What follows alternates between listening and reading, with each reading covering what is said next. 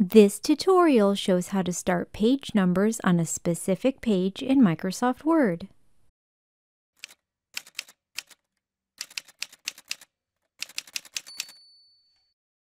Hello, my name is Erin. Today's tutorial shows how to start page numbers on a specific page in Microsoft Word.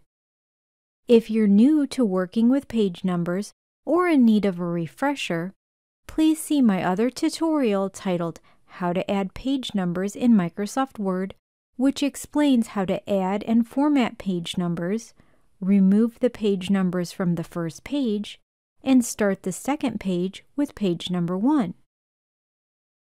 Today I'll be using Word for Microsoft 365. These steps will also work in Word for Mac and in previous PC versions back to Word 2013, although your interface may look different in those older versions of the software. These steps don't apply to Word for the web. The following steps will work in documents with or without existing page numbers.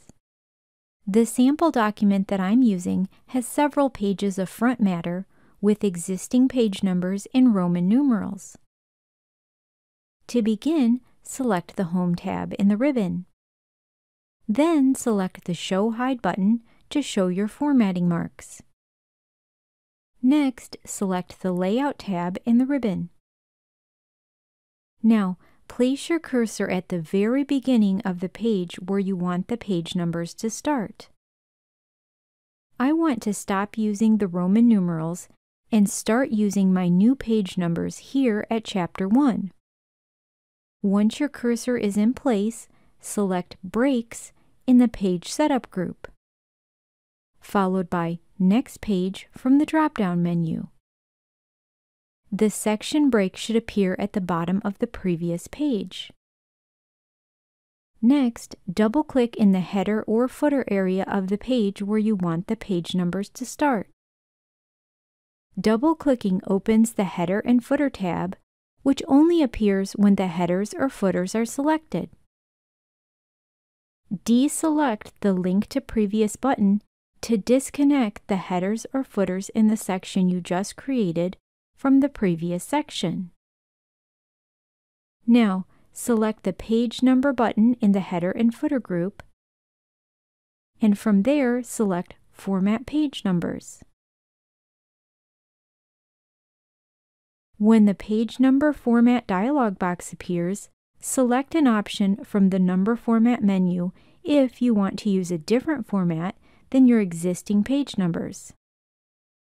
I no longer want to use the Roman numerals, so I'm going to choose this traditional format. Next, select the Start at Radio button. And then enter the page number you want to start with in the Start at text box. It's important to note that you can enter a page number that doesn't physically exist in your document. For example, if your document is 9 pages long, you can still start with page number 90 if you want to. Today, I want my chapter 1 to start with page number 1. When you're finished, select the OK button.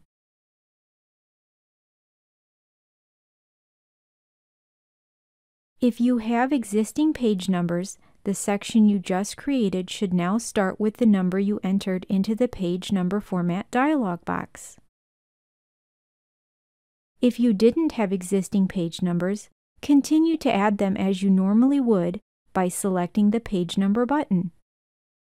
And then select a location to insert them from the drop-down menu.